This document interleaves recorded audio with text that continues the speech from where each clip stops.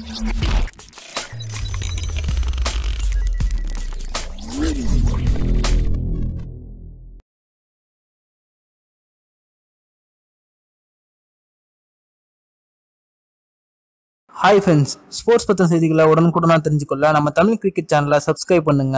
India மற்றும் ஆஸ்திரேலிய அணிகளுக்கு இடையேயான முதல் ஒருநாள் போட்டி வந்து மார்ச் இரண்டாம் தேதி ஹைதராபாத்ல வந்து நடக்க இருக்கு. இந்த போட்டியில இந்திய அணியின் விக்கெட் கீப்பரான மகேந்திர சிங் தோனி விளையாடுவாரா அப்படிங்கிற ஒரு கேள்விக்குறி வந்து இருந்திருக்கு. அதற்கான காரணம் என்ன அப்படிங்கிறத பத்தி நாம இப்போ பார்ப்போம். தற்போது ஆஸ்திரேலிய அணி வந்து இந்தியாவில் சுற்றுப்பயணம் மேற்கொண்டு விளையாடுறாங்க. இதுல முதல்ல நடந்து முடிஞ்ச இரண்டு டி டுவெண்டி போட்டிகளிலுமே அவங்க வெற்றிட்டாங்க தற்போது இந்தியா மற்றும் ஆஸ்திரேலிய அணிகளுக்கு இடையேயான ஐந்து போட்டிகள் கொண்ட ஒரு நாள் தொடர்ல முதல் ஒரு நாள் போட்டி வந்து ஹைதராபாத்ல மார்ச் இரண்டாம் தேதி வந்து நடக்க இருக்கு. அதற்காக இந்தியா மற்றும் ஆஸ்திரேலியா இரண்டு கிரிக்கெட் அணி வீரர்களுமே பாத்தீங்க அப்படின்னா ஹைதராபாத் கிரவுண்ட்ல வந்து வலைப்பயிற்சியில வந்து ஈடுபட்டாங்க. அப்போ பாத்தீங்கன்னா இந்திய அணியின் விக்கெட் கீப்பரான மகேந்திர சிங் தோனிக்கு காயம் ஏற்பட்டதாகவும் அதனைத் தொடர்ந்து அவர் வலைப்பயிற்சியில் இருந்து வெளியேறி விட்டதாகவும் தகவல் வந்து வெளிவந்திருக்கு. இதனால மார்ச் இரண்டாம் தேதி நடக்க இருக்கிற முதல் ஒரு நாள் போட்டியில இந்திய அணியின் விக்கெட் கீப்பர் மகேந்திர சிங் தோனி விளையாடுவாரா அப்படிங்கிற ஒரு கேள்விக்குறி வந்து எழுந்திருக்கு. அதே போல அவர் விளையாட மாட்டார் அப்படின்னா இந்திய அணியோட விக்கெட் கீப்பர் பொறுப்பை யார் பார்ப்பாங்க அப்படிங்கிற ஒரு கேள்விக்குறி வந்து எழுந்திருக்கு. ஏன் அப்படின்னு பாத்தீங்கன்னா இந்திய அணியில ரிஷப் பண்ட் மற்றும் கே எல் ராகுல் இந்த இரண்டு விக்கெட் கீப்பர்கள் வந்து இருக்காங்க.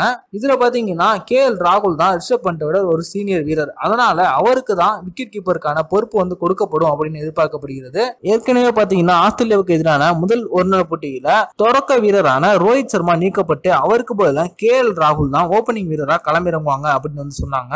தற்போது பாத்தீங்கன்னா மகேந்திர சிங் தோனிக்கு வந்து காயம் ஏற்பட்டிருக்க காரணத்தினால அவர் நாளைக்கு விளையாடுவாரா அப்படிங்கிற ஒரு கேள்விக்குறி வந்து எழுந்திருக்கு. இதனால இரண்டு சீனியர் வீரர்கள் இல்லாம இந்திய அணி எப்படி ஆஸ்திரேலிய அணியை சமாளிக்க போறாங்க அப்படிங்கறத பொறுத்து நாம இப்ப பார்ப்போம். இந்த வீடியோ உங்களுக்கு பிடிச்சிருந்துச்சுன்னா லைக் பண்ணுங்க ஷேர் பண்ணுங்க. நன்றி.